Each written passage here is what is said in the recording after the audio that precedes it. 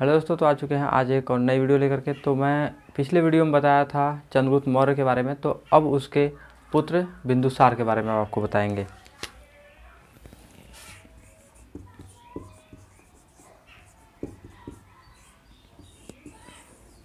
तो बिंदुसार का जन्म कब हुआ था? ये जन्म 340 बीसी इनके पिता मैंने आपको पिछली वीडियो में थोड़ी स्टोरी बताई थी इसकी तो इसके पिता थे चंद्रगुप्त मौर्य।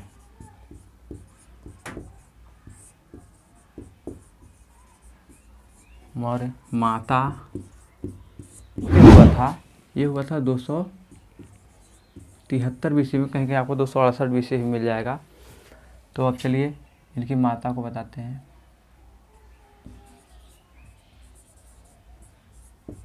तो इनकी माता थी दूरधरा और इनकी एक दूसरी माता थी। तो इनका पालन पोषण किसने किया? पालन पोषण। ये इनकी सौतेली माता थी, हेलेना। हेलेना, इसका एक और नाम था क्या? कार्नेलिया। कार्नेलिया। इसका एक दूसरा नाम था कार्नेलिया।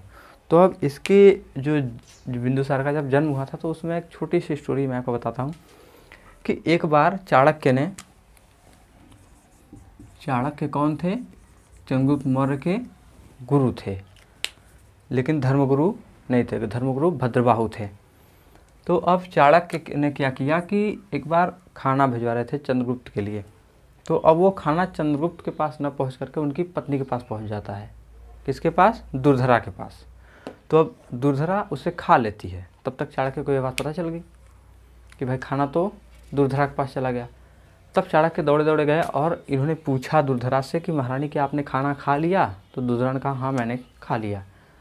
तब चाणक्य ने कहा कि, अब आपको मरना होगा। तब दुर्धरा ने पूछा, कारण पूछा कि क्यों ऐसा करेंगे आप? तो उसने पूरी कहानी बताई कि, मैं चंद्रगुप्त मौर्य को खाने में थोड़ा थोड़ा जहर दिया करता था ताकि अगर उसे कोई जहर देकर मारना चाहे तो भी उस पर किसी जहर का असर न हो।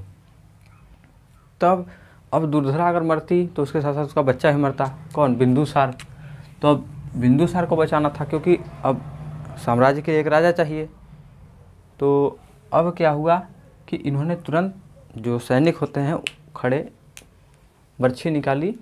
मतलब चाकू से आप कह सकते हैं, उसने लिया और तुरंत गला काटा और पेट चीर करके बिंदुसार को निकाल लिया। अब बिंदुसार का नाम बिंदुसार पड़ा क्यों? क्योंकि जो जहर दूधरा ने खाया था खाने में, उसका असर बिंदुसार पर भी होने लगा था। उसके शरीर पर जगह जगह ढेर सारे काले काले धब्बे पड़ गए थे काले भूरे। तो धब्बे पड़ गए थे जिसके नाम पर जिसके मतलब आधार पर इनका नाम बिंदुसार पड़ा। तो अब क्या हुआ? अब दुर्धरा तो मर गई। फिर पालन पोषण इसका कार्नेलिया ने किया। कार्नेलिया को एक भी संतान नहीं था। तो कार्नेलिया ने किया, यानी हेलेना ने।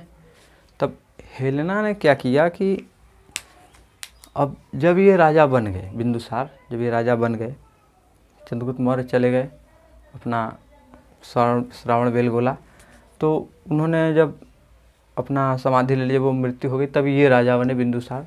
तब क्या हुआ? कार्नेलिया ने बिंदुसार को बताया कि क्या तुम्हें पता है कि तुम्हारी माँ का हत्यारा कौन है?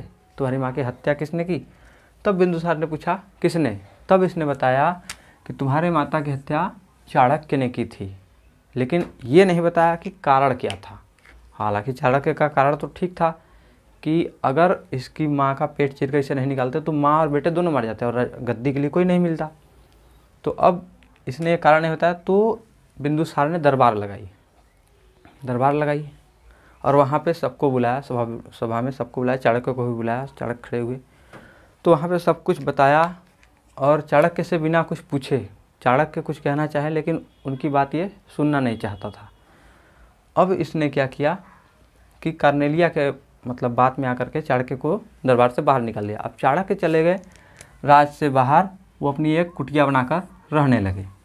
कुटिया बनाकर रहने लगे, लेकिन इनके पास कुछ गुप्तचर थे। ये हमेशा जानकारी लिया करते थे, क्योंकि ये जानते थे कि ये ठीक औरत नहीं है। तो ये जानकारी लिया करते थे और बिंदुसार मतलब काफ़ी ज़्यादा दुलारा हो गया था। अब इसका एक भाई था, एंटीओकस। एंटीओकस, इसका एक भाई था। तो इसने एक अपना राजदूत भेजा।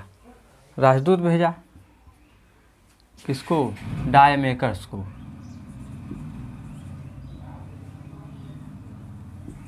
डाय डायमेकस डायमेकस को भेजा। तो जब डायमेकस यहाँ पर आया तो चंद ये बिंदुसार ने इससे कुछ चीज़ें मांगी, जिसमें सूखी अंजीर था, मीठी मदिरा थी और कुछ दार्शनिक थे। बिंदुसार ने डायमेकस से कहा कि मुझे ये चीज़ें, आपके जो एंटियोकस जो राजा है, उनसे कह दीजिए कि वो मुझे भिजवा दें। तब ये डायमेकस एंटियोकस के पास आता है और फिर बताता है कि उन्होंने बिंदुसार ने ये चीज़ें आपसे मांगी हैं। तब इन्होंने केवल सूखी अंजीर और मदिरा भिजवाई, लेकिन दार्शनिक नहीं भिजवाए। दार्शनिक क्या होते हैं, ये आपको बता दें। दार्शनिक होते हैं मतलब जो दरबार में बुद्धिजीवी लोग होते हैं मतलब जिनसे राय मशवरा का राजा करते हैं, वे लोग होते हैं। तो अब एंटियोकस ने उन्हें देने से मना कर दिया और सूखी अंजीर और मदिरा भिजवा दी। फिर क्या हुआ? अब इनका जीवन जैसे जैसे चल रहा था। एक बार क्या हुआ कि बिंदुसार जंगल जाने का प्लानिंग करते हैं। जंगल जाने का। तब ये जंगल जाते हैं। और फिर जंगल में जाए, गए थे और वहाँ पे इनको प्यास लगी और ये चले गए झील में पानी पीने। तो उधर तो ये अपना टहल रहे थे, लेकिन इधर कार्नेलिया ने क्या किया था? जब ये जंगल जा रहे थे, तब कार्नेलिया ने कुछ अपने चाहते, अपने भरोसेमंद सैनिकों को इनके पीछे लगा दिया था। इनके कुछ भरोसेमंद सैनिक थे, इसके बिंदुसार के पीछे लगा दिया कि जैसे ही तुम्हें मौका मिले, बिंदुसार को मार देना। अब ये सैनिक उसी घात में थे और जब बिंदुसार पानी पीने लगे, तब इन्होंने इन पर हमला कर दिया। और वो जिस झरने में पानी पी रहे थे, उस झरने से नीचे गिर जाते हैं और फिर पानी में बहते हुए जंगल में बह जाते हैं। और फिर जंगल में जब जाते हैं तो जंगल में जाने के पास इनको एक जनजाति से मुलाकात मतलब इन्हें एक जंगल उस जंगल में एक जनजाति के लोग नदी किनारे पड़ा हुआ पाते हैं और फिर लेकर के अपने घर जाते हैं, जिससे इनका इलाज विलाज करते हैं। फिर इलाज होता है फिर ये होश में आते हैं। और फिर जब ये होश में आते हैं तो इन्हें एक महिला जो इनका ट्रीटमेंट कर रही थी, जो इनका देखभाल कर रही थी, इन्होंने देखा तो इन्हें लगा कि मैं इसे कुछ पहचान रहा हूँ, लेकिन ये पहचान नहीं पाते। लेकिन वो जो पत्नी थी इनकी, वो इनकी पत्नी थी कौन? धर्मा। इसका नाम था सुभद्रांगी। सुभद्रांगी का दूसरा नाम था धर्मा। अब सुभद्रांगी तो महल में लोग जानते थे, लेकिन धर्मा वहाँ के लोग कहते थे। तो अब सुभद्रांगी ने जब इन्हें नदी किनारे पाया था, तभी ये इनको पहचान गई थी कि ये तो मेरे पति हैं। अब दुर्धरा इन्हें ले जाती है, इनका ट्रीटमेंट सब कुछ करती है तो बाद में धीरे धीरे ये भी इसको पहचान जाते हैं। तो अब पत्नी थी तो कैसे न मेल हो? तो बाद में क्या होगा कि ये दोनों कुछ दिनों तक वहाँ पे बिंदुसार, दूरधरा मतलब धर्मा के साथ रहने लगे। तो अब क्या हुआ कि वहाँ पर रह रहे थे, फिर इधर अब साम्राज्य में क्या हो रहा था कि साम्राज्य में चाणक्य और हेलेना का आपस में राजगद्दी के विषय में खूब विवाद चल रहा था।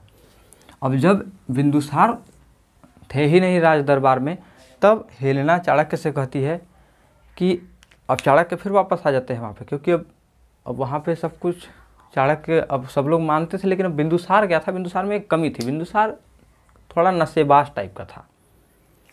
नशेबाज टाइप का था। तो अब क्या हुआ? हेलेना ने कहा कि मेरे जो भाई है एंटियोकस का एक पुत्र था, जस्टिन जस्टिन, जो मेरे भाई का पुत्र है, अब बिंदुसार के बच्चे तो छोटे छोटे हैं तो मेरा भाई है, उसका एक बच्चा है मतलब उसका एक लड़का है, जस्टिन। तो मेरे भाई के बेटे को यहाँ का राजा बना दो। अब चाणक्य के दिमाग में यह था कि अगर ये राजा बनता है तो पूरी शक्ति उसके हाथ में चली जाएगी, जिससे कि वो क्या होगा, इन बच्चों को मरवा भी सकता है, क्योंकि पूरा का पूरा कंट्रोल उसके हाथ में हो जाएगा। तो चाणक्य इससे मना कर देते हैं। अब चाणक्य पूरे साम्राज्य में अपने गुप्तचरों को छोड़ देते हैं। अब चंद्रगुप्त मौर्य का साम्राज्य बहुत बड़ा था, मैंने आपको बताया था, पूर्व में बंगाल से लेकर पश्चिम में गुजरात तक। तो अब इतना बड़ा साम्राज्य था तो वो लोग ढूंढते हैं काफ़ी समय लग जाता है, लेकिन नहीं पाते। तब फिर बचता है एक क्षेत्र, जो कि था जंगल। अब चाणक्य ने अपने गुप्तचरों से कहा कि अब जाओ, जंगल को ढूंढो। और जब जंगल ढूँढने लगे, तब उन्होंने पाया कि बिंदुसार तो अपनी पत्नी के साथ वहाँ पे आराम फरमा रहे हैं। अब वहाँ पे वो प्रेम में लीन थे। तो अब सैनिकों ने इन्हें बताया आकर के कि आपके साम्राज्य में ऐसी ऐसी बात है। तब बिंदुसार ने कहा कि चलिए, फिर ये अपन अपने साम्राज्य चले आते हैं। जब ये अपने साम्राज्य आए, तब, अब यहाँ पे क्या था कि हेलेना से एक बार चाणक्य मतलब बात करें तो हेलेना ने कहा कि मेरे भाई को, मेरा मतलब भाई के बेटे को राजा बना दो। तो हेलेना ने ये चाणक्य से नहीं बताया कि वो मर चुके हैं। अगर ये बताते कि अगर हेलना बताती चाणक्य से कि वो मर चुके हैं, तब चाणक्य को शक हो जाता है इस पर वैसे भी इस पर शक था ही कि जो भी कारनामा है, ये सब करवा रही है। तो अब क्या हुआ? ये यहाँ चले आए। पीछे क्या हुआ? अब इधर धर्मा के पेट में एक बच्चा था, जो कि अब जन्म ले लेता है। अब यहाँ तक इनके गुप्तचर पहुँच गए थे तो इनको पता था कि ये इनकी पत्नी है, चाणक्य को पता चल गया था सब कुछ, कि हाँ अपने पत्नी के साथ है तो पत्नी अब वही रह गई। लेकिन जब ये बिंदुसार कह रहे थे अपनी पत्नी से कि चलो तुम भी मेरे साथ साम्राज्य मतलब राज्य में, तब इसने कहा कि अगर मैं वहाँ जाती हूँ तो मेरा विवाद शुरू हो जाएगा। तो इससे पहले आप जाइए, जब वहाँ पे शांति हो जाएगी, तब आप आइएगा, तब मैं चलूँगी। तब ये अकेले जाते हैं, फिर इधर चाणक्य ने अपने जो गुप्तचर थे, वो बराबर इधर का संदेश वो लेता रहता और यहाँ पे जाते भी थे चाणक्य। फिर क्या हुआ? अब सुभद्रांगी से मिलते थे तो सुभद्रांगी को पुत्र पैदा हुआ, जिसका नाम था अशोक। अशोक? अब अशोक इधर पैदा हुआ। तो अब अशोक क्या था? जंगल का एक तरह से वो रॉबिन हुड था। वो अमीरों के धन को लूटता और गरीबों में बांट देता था। तब ये सब चाणक्य को पता था इधर। एक दिन क्या हुआ? अशोक ने बिंदुसार के ही साम्राज्य में चोरी कर, चोरी करने के लिए चल पड़ा। अब यहाँ आया तो यहाँ पे पकड़ा गया। अब इसकी पेशी हुई। जब पेशी हुई तब बिंदुसार ने कहा कि अभी तो ये नाबालिग है। उस वक्त ये मतलब अट्ठारह साल का भी नहीं था। तब बिंदुसार ने कहा कि ये तो नाबालिग है, इसको मैं क्या सज़ा दूँ? जबकि वहाँ की सज़ा थी, चोरों के लिए सज़ा मतलब फांसी की सज़ा थी। तब बिंदुसार ने इसे छोड़ दिया। फिर बाद में क्या हुआ? कि यहाँ पर बिंदुसार अशोक के नाबालिग होने की वजह से उसे फांसी की सज़ा नहीं सुना पाते, यानी सज़ा मौत नहीं दे पाते। तब कुछ वर्ष बीतते हैं, अशोक को छोड़ दिया जाता है, लेकिन कुछ वर्ष बीतते हैं, राज्य का माहौल थोड़ा ठीक हो जाता है। तब चाणक्य बताते हैं बिंदुसार को। चाणक्य बताते हैं बिंदुसार को कि अशोक तुम्हारा ही पुत्र है और वो धर्मा का बेटा है, जो कि जंगल में है। तब फिर बिंदुसार इन सबको राजमहल बुला लेते हैं, अपनी पत्नी और पुत्र को और अशोक को, उज्जैन और तक्षशिला। उज्जैन और तक्षशिला।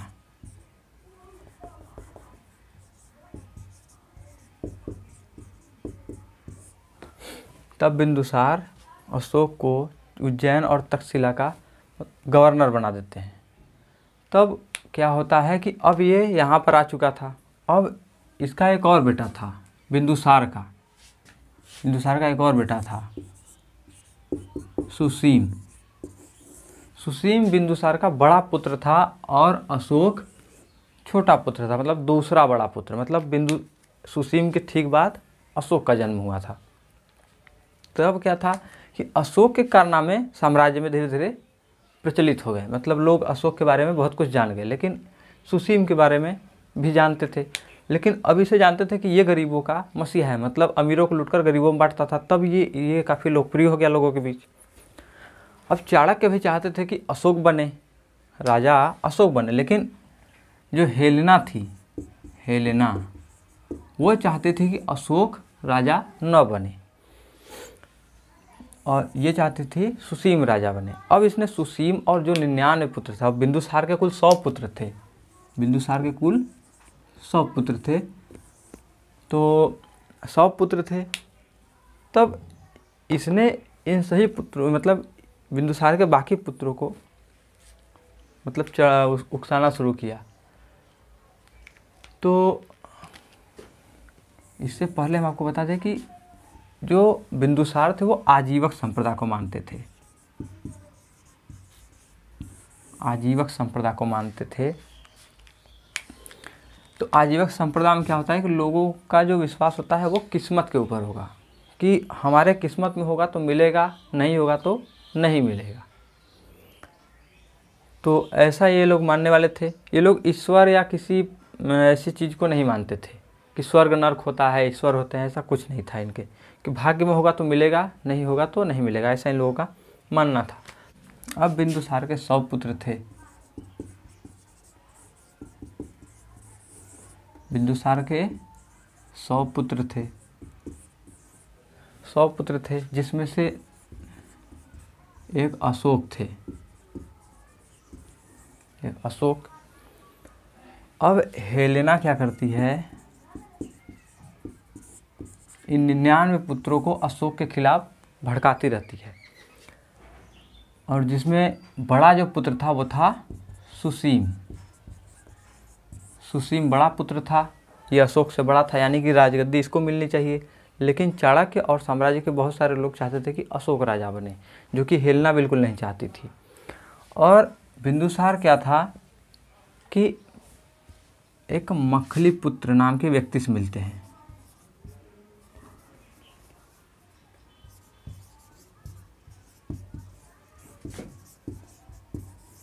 ये मखली पुत्र आजीवक संप्रदाय को मानने वाले लोग थे, आजीवक संप्रदाय।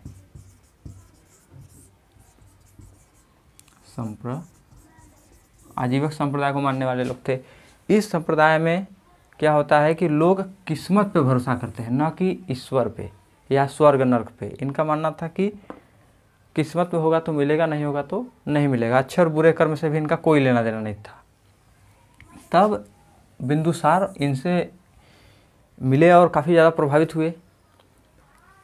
तो अब ये आजीवक संप्रदाय को मानने वाले थे तो ये अपना चले गए। इनके, इनसे प्रभावित हुए और राजगद्दी सब, साम्राज्य सब छोड़ दिए। तो अब क्या था? अब यहाँ पे राजा के लिए हुड़ लग गई। तब क्या था कि बड़ा पुत्र सुसीम था। तब हेलेना ने ज़ोर दिया कि सुसीम को राजा बनाया जाए। तो अब यहाँ पर अब चाणक्य ने इसको बढ़ा बढ़ाया कि तुम्हें राजा बनना है। अब ये चाणक्य के हाथ हाथ चला गया क्योंकि जो धर्मा थी धर्मा यहाँ तक चाणक्य पहले ही पहुँच चुके थे और अशोक चाणक्य सब आपस में एक दूसरे को जानने लगे थे। तो अब क्या था कि इन निन्यानवे पुत्रों ने अशोक को मारने को, की कोशिश कई बार की। लेकिन नहीं मार सके। तो इन्होंने इसकी माता को निशाना बनाया, जिससे अशोक क्रोधित हो गए और निन्यानवे पुत्रों को मार करके एक कुआँ, जिसका नाम था अगम कुआँ। अगम कुआँ में निन्यानवे भाइयों को मार करके उसमें फेंक दिया, जो कि बिहार में है।